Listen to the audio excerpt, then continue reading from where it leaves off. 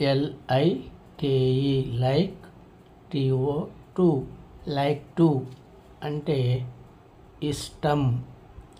ఇష్టం అంటే ఏదైనా ఒక పనిని అలా చేయడం అంటే ఇష్టం అనే అర్థంలో ఈ రెండు పదాలను కలిపి ఉపయోగిస్తాము. లైక్ టు అంటే ఇష్టం.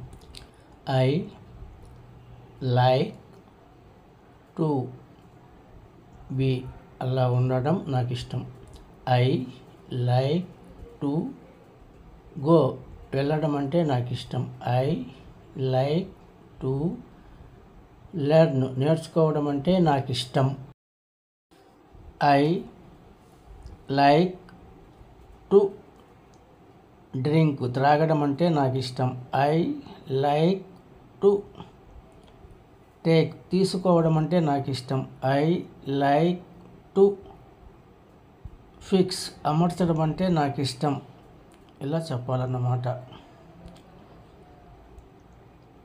ఐ లైక్ టు యూస్ ఉపయోగించడం అంటే నాకు ఇష్టం ఐ లైక్ టు లిజన్ వినడం అంటే నాకు ఇష్టం ఐ లైక్ టు వాచ్ గమనించడం అంటే నాకు ఇష్టం పైన ఎడమవైపు చూడండి.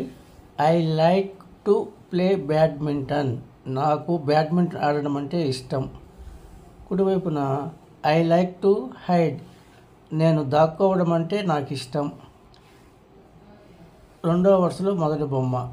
I like to play tennis నాకు టెన్నిస్ ఆడడం అంటే ఇష్టం. తర్వాత బొమ్మ. I like to ride a bicycle cycle నడపడం అంటే నాకు ఇష్టం. కింది వరుస మొదటి బొమ్మ చూడండి. I like to play football నాకు ఫుట్బాల్ ఆడడం అంటే ఇష్టం.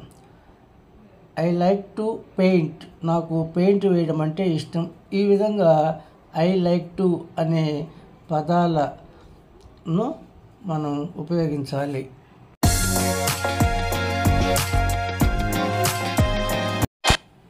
T A L L tall పొడవు.